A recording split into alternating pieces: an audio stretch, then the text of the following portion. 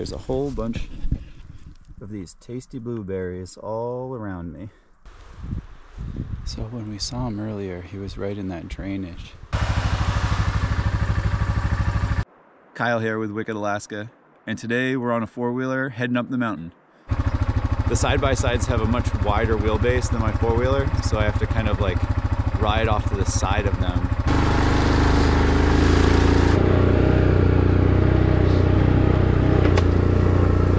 It's pretty intimidating coming into some of these big holes without ever running them before.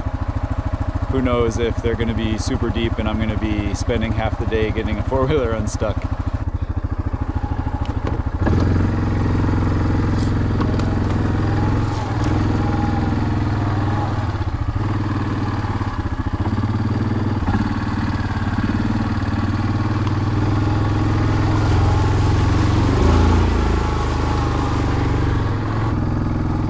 That one went well.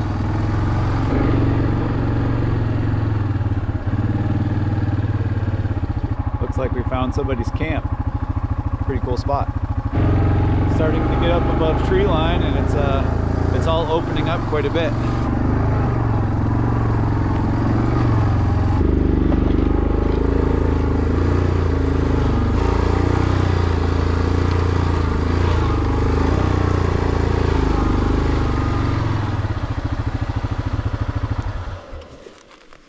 Is going to be a good place for me to stop and take a quick bathroom break and look through the binoculars a little bit to see what I see out in front of me up the hill.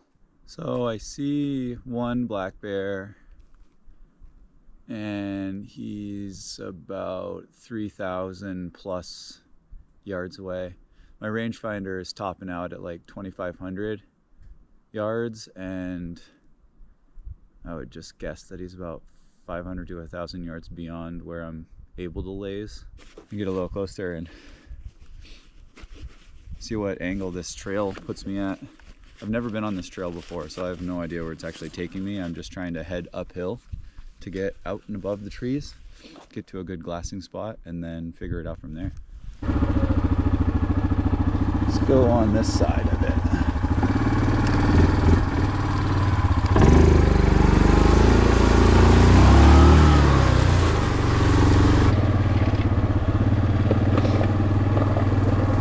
some of these trails they're custom cut through the grass and they lead to some steeper hills that I don't really want to be climbing by myself out here so I'm gonna come back and hit the main trail.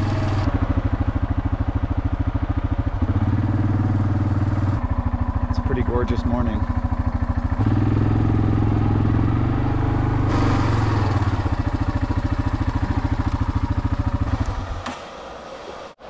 All right we're a little bit closer now still a couple thousand yards out. 1500 yards out i see a different bear and maybe an accessible spot. Still pretty far to approach because i got to go down this hill and then up again. But uh, he's in a, a little spot where there's some waterfalls and so it'd be kind of an easy spot to re-identify from a different location. So i'm going to keep getting closer and see what i can see. That's going to be fun getting back up. The trail turned into a bit of a river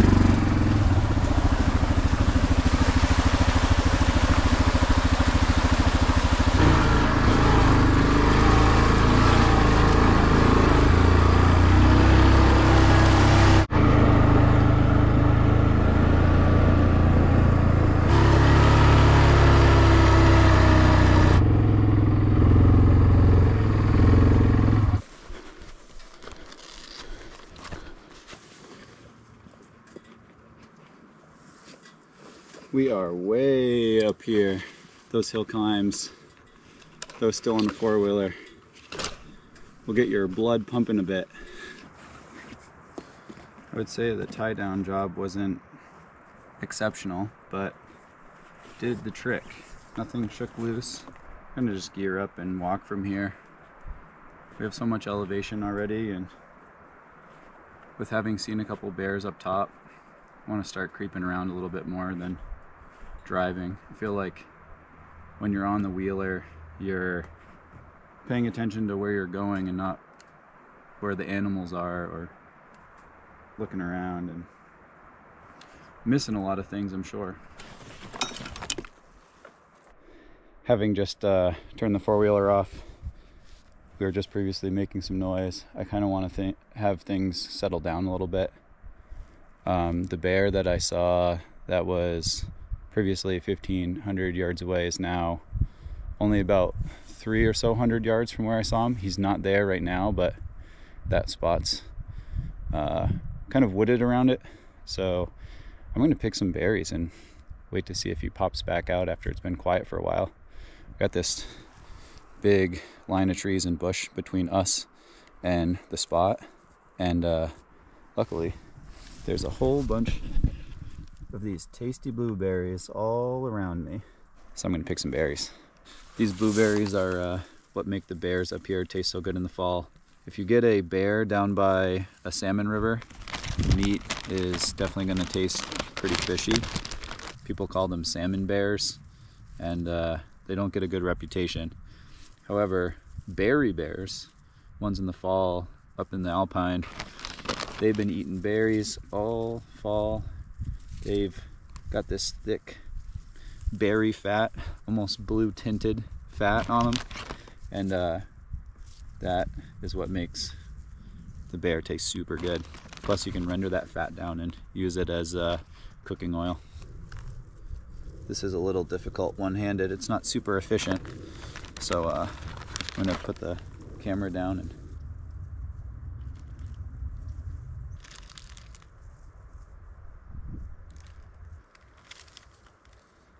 Okay, I've uh, collected some berries. Only about five or ten minutes worth. Um, I'm gonna leave some air in the bag. I'm gonna put this back in my backpack and uh, hike around a little bit. And uh, I'll stop to a glass in a spot where there's more berries so that I can pluck away as I wait and look.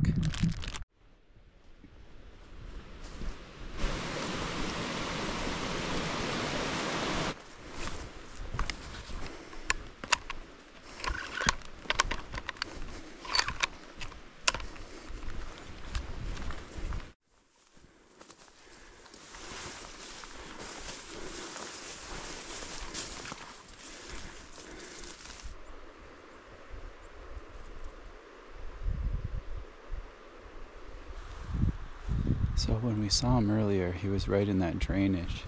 I'm not super motivated to go in there by myself. Um, I think the best thing to do right now is just to wait and watch and see where he pops out and hope he pops out low and in a uh, range that's shootable.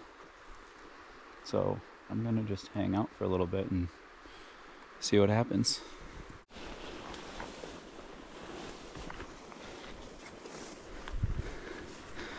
Looks like a pretty great spot to lean up against. Got this nice shady tree. It's looking right up at the hillside. We'll uh, hang out here for a little while and see what we see. So I've been hanging out here for about an hour now, and uh, I haven't seen any movement at all. Tough to tell if uh, the bear's still in this area or not, because there's a lot of avenues for the bear to move out undetected. Um, what I did notice is, though, sitting right next to me is a ton of watermelon berries. So I'm going to pick a bunch of those while I wait a little bit longer.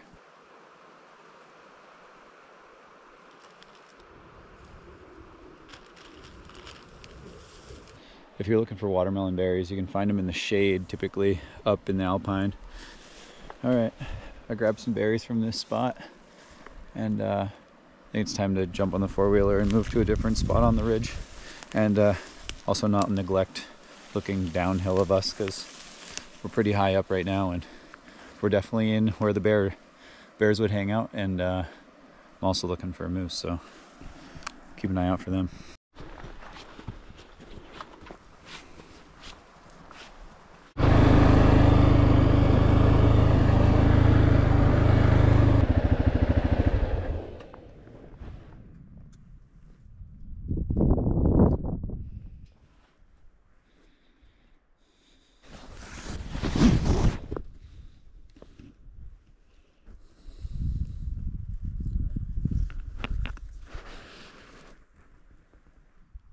Pretty tough to be able to see a bear from up here.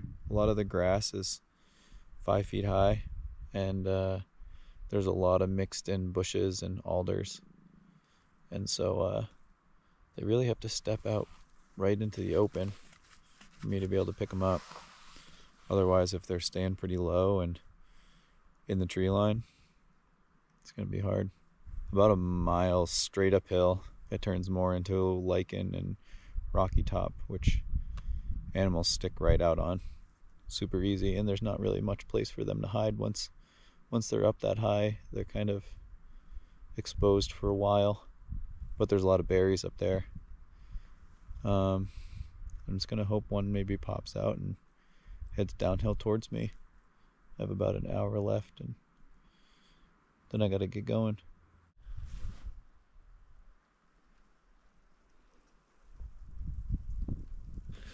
I just remembered I had another egg and sausage burrito.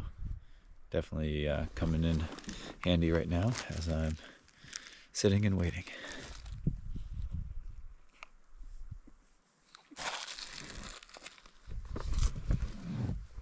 Maybe the smell of Jimmy Dean sausage will attract an animal. Well, this place was pretty sweet. It was a fun adventure to get to the spot anyway. Um, didn't produce, but we still have a long ways downhill, and uh, so I'm going to go pretty slow and uh, see what we see.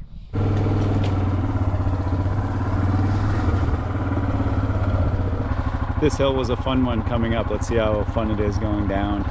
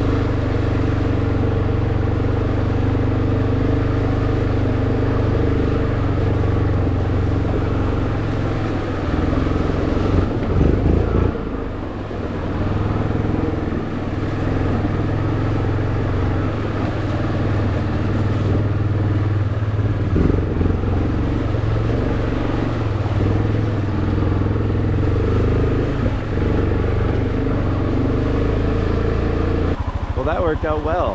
I thought that was going to be a lot tougher.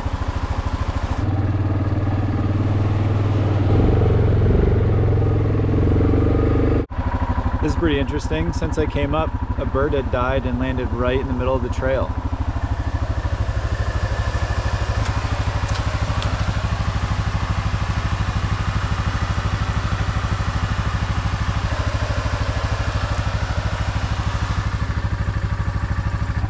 Cool bird. I don't know what it is, but it's a pretty cool looking bird. Coming down the trail and now we uh, have run into different berries. They're currants and there sure is a lot of them.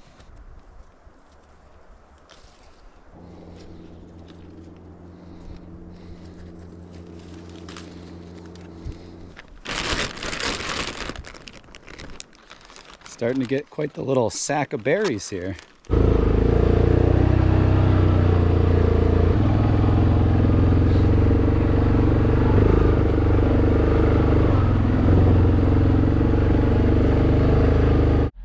Looks like we found a really old tree stand made out of a pallet. Having good binoculars is a good and a bad thing. Uh, super good because obviously you can see anywhere and as far as you can possibly imagine. But then bad because when you see something and you say, oh, yeah, let's go there, you realize that it's like about three miles away, even though it looks really close in the binoculars.